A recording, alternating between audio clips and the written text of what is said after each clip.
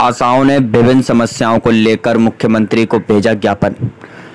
मंगलवार को पूरे ज़िले की आशा वर्करों यूनियन ने जिला अधिकारी के ज़रिए मुख्यमंत्री के नाम ज्ञापन सौंपा है, जिसमें उन्होंने कहा कि पिछले कई वर्षों से यूपी आशा वर्कर्स यूनियन अपनी मांगों व समस्याओं के समाधान की याचना कर रही है, परंतु समस्याओं को सुनने के बाद उसका निस्तारण अभी तक नहीं किया गया। आशाओं के ऊपर काम का बोझ लगातार बढ़ रहा है और उसका भुगतान नहीं किया जा रहा है।